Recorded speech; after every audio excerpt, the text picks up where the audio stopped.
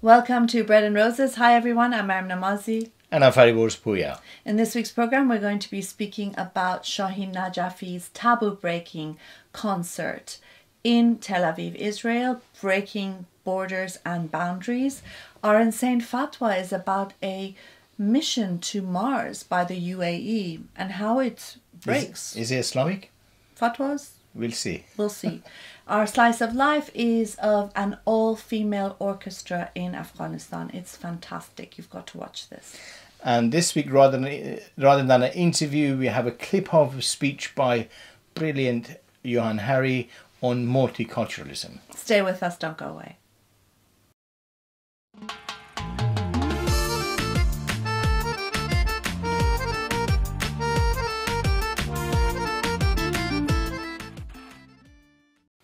The Iranian protest singer Shahin Najafi recently went to Tel Aviv, Israel to take part in a concert with the well known singer Aviv Geffen, and it's caused a lot of discussion in Iran. From my part, I think what a great thing he did.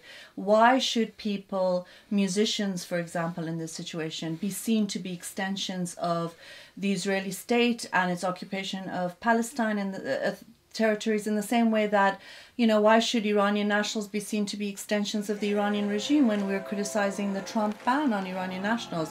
It's a wonderful thing to do, and it in fact goes to show our common humanity. And that's the point that actually Shahin Najafi has made. But one of the things is that a part of the uh, dominant anti-Semitic narrative of the Islamists across Middle East and North Africa to some extent, and also globally as well, all the fascists and the right wing are feeding from this anti-Semitism and actually breaking that barrier. It's such an important thing to do. People who go and uh, and sort of bring unity between people, irrespective of the government, irrespective of the politics of the states, and uh, you know, people in Iran are opposing the uh, Islamic regime that it's is very oppressive the the uh, peace movement and uh, movement for change in Israel is exactly the same thing. We never should make people responsible for the history of the countries or the state's activity. I think that's such an important thing, and this anti-Semitism needs to be broken as well. I definitely, definitely. And one of the things, I mean, you know, it was wonderful because uh, Shahin Najafi called uh, Aviv Geffen his brother, and the crowd went crazy. And he also said that uh, Aviv Geffen is a, a, a, wonderful singer who happens to have been born in Israel. And I think that is how we need to look at people without all this baggage that comes in ways that try to divide us and to say that we're so different. And also, it goes to show how music is so empowering and really is so great at baking boundaries. If musicians can't do it, then who is yeah. going to do and that? And I think people always do. People unite around music, and music is one of those areas that brings people together. Also, but there, there are pressure between the states and God, people always express the solidarity. For example, last year I remember, or about two years ago, when there were the whole um, possibility of war and military conflict between the Islamic regime and the right-wing uh, um, Israeli government people of Iran and Israel, they were sending message of solidarity that we have. We, we, there's no reason for to uh, war for, for, people of Israel and Iran uh, to go to war, and that unity I think is important. We need to break all these walls. We need to bring bring people together. Actually, people should travel freely to Israel, to Iran, and cement that unity and show the common humanity and destiny that we have, all of us have together. Yeah, and of course we're talking about music, but art is also very instrumental here, and we want to also talk about Banksy's new hotel in Bethlehem, and it's got the worst views of the world basically because it's facing the wall that separates uh, the people of Israel and the people of Palestine. And uh, you know, it's it's a wonderful statement, uh, both yeah, as a criticism of oppression, but also um, you know to bring people together and, and actually together. breaking the walls. I mean, there was a comment that uh, you know, there's a lot more people want to come and see Banksy and his uh, work in uh, West Bank and in and, and in Israel than people go for to see Jesus. You know, I mean, it's the tourism. Jesus is there. or you know the uh, Bethlehem and the and it's, so people that's where the, the strength of art, music, and that brings people together, and that we need to celebrate this. So, thank you very much, Shahin Najafi, for Yeah. taking this step to this step, and will support you right to the end. yeah, definitely.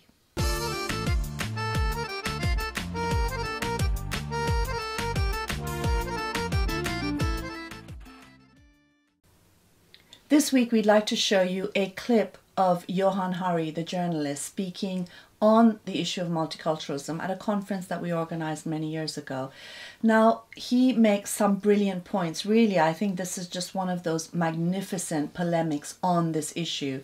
And we've just taken a short clip of it. But basically, what he says is that multiculturalism as a social policy boxes people into really restrictive, narrow, um, sort of um, pigeonholes them and doesn't see the human being there. So it doesn't allow people to live the lives that they want because it says, well, you know, welcome to Britain, for example. Here's a little box we can put you in. Yeah, and, and one of the things uh, that Johann Hari says, the brilliant, sparkling brilliance of uh, uh, Hari, he says that wherever you go, where there is oppression or restriction on people, people naturally respond to that. And that's what we've been saying for many, many years. The resistance in the Middle East and North Africa is greatest because that's where the main root, you know, source of oppression and Islamism is. And that's if you want to find resistance, that's where you've got to find it. And then you need to be able to support that. And when he talks about criticism of religion, he talks about how Christianity has doesn't any longer have this power to terrorize because it's been so ridiculed and questioned. And that's exactly what needs to be done with Islam. And, you know, I think it's a really important point. The point when people say, well, why do you need to mock? Why do you need to ridicule? How important that is actually in, you know, in Combating terrorism combating and terror. the terror and Yeah. also and demystifying it and being able to question religion and bring it down to a place where it's no longer has this power over people's lives And that's actually the most important way of combating religion is ridicule and being able to question it while you laugh, while you you know you, you question the roots of it, but in a, in, in a quite a humane way. And, and ridiculing of religion and stupid ideas is the best thing you could do and most powerful uh, tool we have in our hands. definitely watch this clip you will be amazed stay with us I think it's a big issue. I won't call it the biggest issue in the world, um, but I think it's a very, very big issue. And I think it, uh, part of the problem is the way we're responding in Europe is we have actually quite a flawed ideological uh, framework, which is multiculturalism. Now, when you criticise multiculturalism, it's very important that you preface it, when someone like me criticises it, it's very important to preface it by saying, this is usually lumped in with immigration. You'll hear the right saying, multiculturalism and immigration have caused X, Y, or Z problem. I passionately believe in, oh, well, I wouldn't exist if it were not for immigration.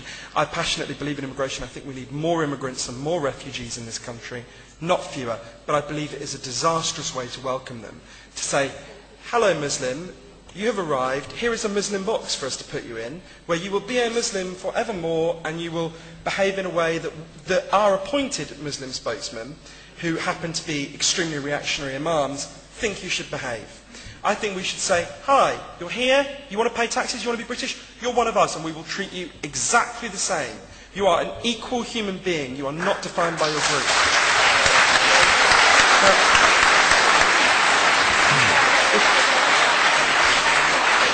If I can, if I can give the, the most, well, I think it's the most egregious example within Europe of where I think multiculturalism has gone wrong, let's look at Germany. The German constitution has a requirement, I think a terribly flawed requirement, to respect a person's religion. And I just want to give a couple of quick examples of what that has meant. There was a, a woman uh, called Zainab who was a German woman. Her parents had come from Algeria when she was a child. And she got married to a man who was extremely violently abusive. And there was no question, there was no question about the evidence. He was convicted of beating her and beating her child. And in Germany, you have to be separated for two years before you can be granted a divorce. If you want to get it sooner, and obviously she did, she wanted this disgusting man out of her life, you have to go to court. So she went to court. She presented the evidence, no one disputed the evidence, his lawyers didn't dispute the evidence that he'd been violent. The judge, who was a female German judge, came back and said, well, I've looked at this case, and there's no question this man is abusive. But equally, the Constitution requires that I look at your religion. And I've been reading the Quran and the, the Hadith, and she read out the passage from the, the Hadith, which actually recommends domestic violence if your wife gets too uppity. And the judge effectively said, well, that's your culture. So for that reason, I'm declining your request. Have a good marriage.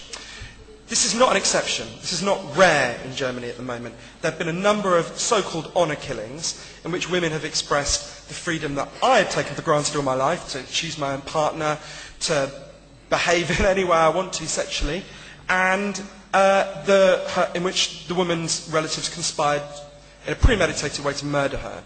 And the verdicts were reduced to manslaughter, and the judge in one case said, I'm doing this because I understand that this woman violated your Anatolian moral precepts. Another example, this is a much smaller example, but I think is very revealing. There was a 14-year-old girl who wanted to go on a school trip. She happened to be, well, she wasn't, she didn't self-identify as Muslim, her family were Muslim.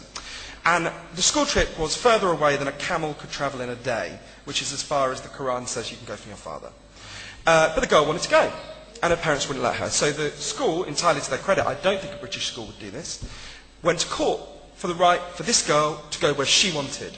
And the judge said, and these were his words, under law, we recognise that a retarded person has to be accompanied by a minor. I see no reason why this should not apply to Muslim women. Now, there is no doubt that judge thought he was being terribly tolerant, and yet it led him to a situation where he was comparing Muslim women to the mentally disabled. The problem with multiculturalism is it puts nice liberal people into alliance with the most profoundly reactionary parts of immigrant communities against the very people we should be siding with. Women who want to live their lives their way, gay people who want to live their lives their way. And the, the problem with this is as well, it gets tied up with the language of respect. When I criticise Islam, as I criticise Christianity and Judaism and Buddhism, I was even once called fat by the Dalai Lama, the, um, the, I get told, no, you have to respect my beliefs. I respect you as a human being too much to respect your ludicrous superstitions. I,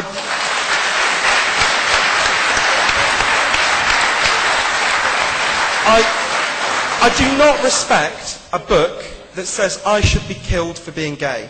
I do not respect a book that says Maryam should be killed for being a so-called apostate. Indeed, I abhor that book as I abhor the Bible and the Torah.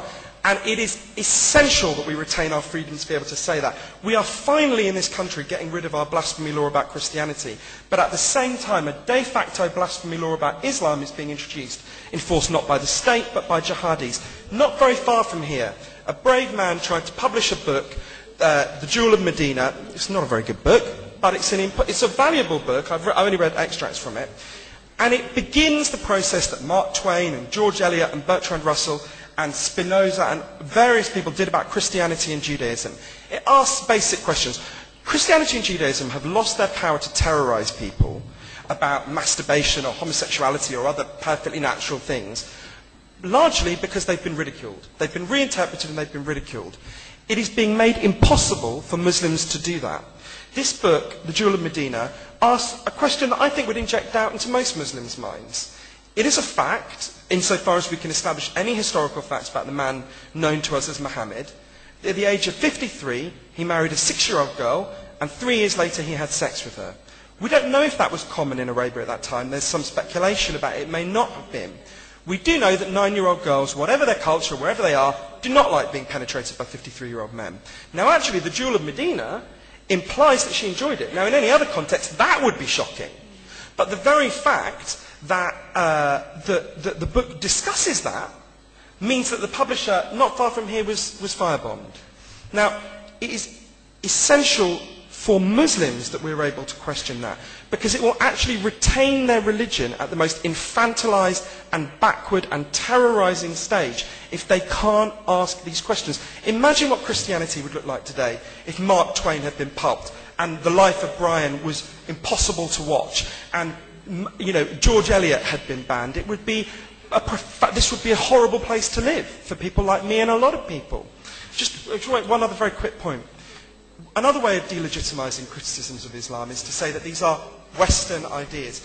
So I mentioned Bangladesh earlier. I was in Bangladesh earlier this year. uh, in a children's home, I met a 15-year-old girl.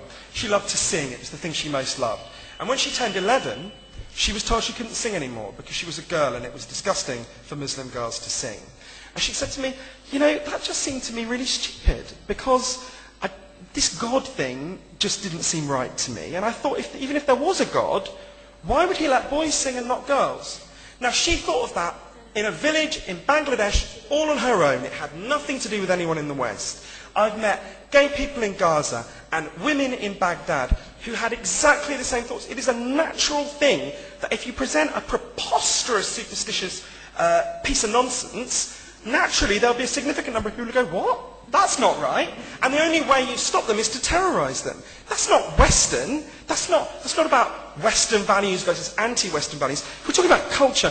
Whose culture are we talking about? The culture of Zainab, who wanted a divorce in Germany, or the culture of the man who wanted to beat the shit out of her? Now, oh, we have to make a choice about that culture. It's like saying the culture of the Deep South was slavery. Well, there were some people called slaves who didn't think that was their culture. And a lot of people sided with them, and they prevailed.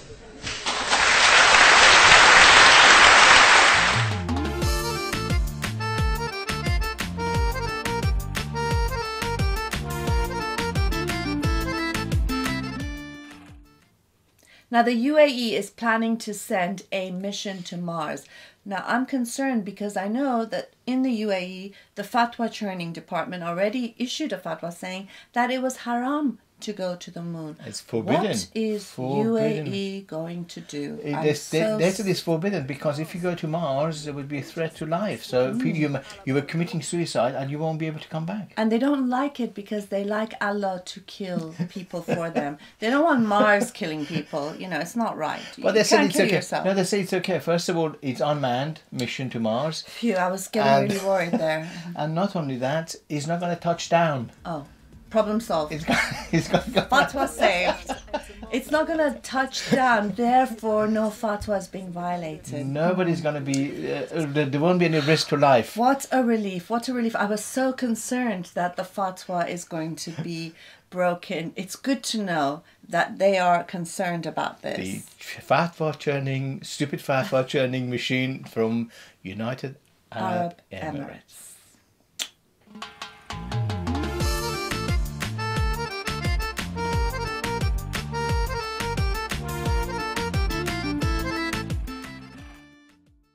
Now imagine an all female orchestra. Okay, it's not a very big deal, but imagine it in Afghanistan, a country where under the Taliban, listening and playing music was completely banned, especially for women. And here are women who are, after 30 years, they're the first people after 30 years in their family that are learning and playing music. It's really a sight to see. Just a moment of life without the Islamist and Taliban. I think that sort of encapsulates not only the reality of life in Afghanistan, what people want, but the future that a life without the Islamists and Taliban and the reactionary forces, where people can flourish naturally.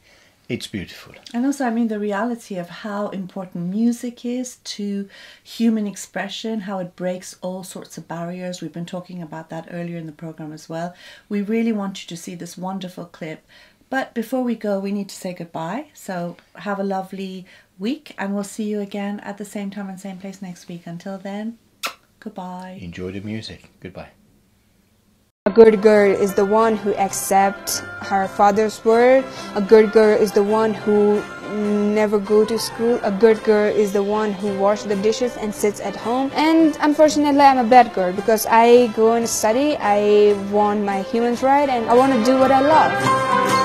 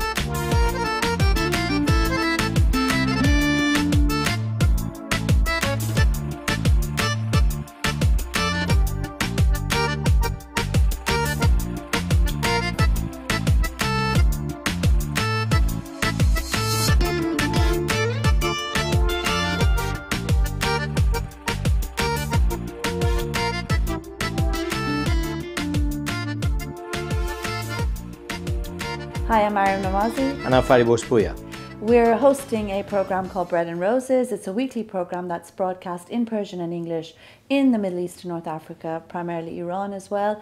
And it's also shown on YouTube internationally. And we've been doing this since last May. We're coming up to our year's anniversary, and Yeah. we, we've had quite a lot of fun making these videos. We discuss taboo breaking, free thinking ideas. The Islamic regime of Iran has called us immoral and corrupt. And that's why the, you need to support us. We are and the alternative voice in Middle East and North Africa. of corruption and immorality. So do support us. Here's a short video from Patreon that explains how you can help us with even just $1 a week. That's nothing.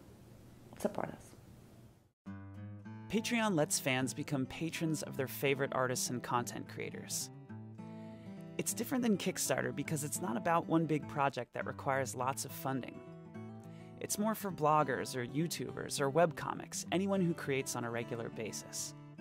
Here's how it works when you become a patron, you're agreeing to give an artist a tip of an amount you set every time they release a piece of content, whether it's a new song, a video, or a recipe. You can set a monthly maximum to make sure that you're always within your budget. Choose an amount, enter your payment information, and you're done. Becoming a patron allows you to view and post in the artist's stream, and in exchange for your support, artists offer additional patron packages, which might include monthly Google Hangouts, music production tutorials, pre sale concert tickets, or anything they can offer as a way to say thanks. Patreon, empowering a new generation of content creators.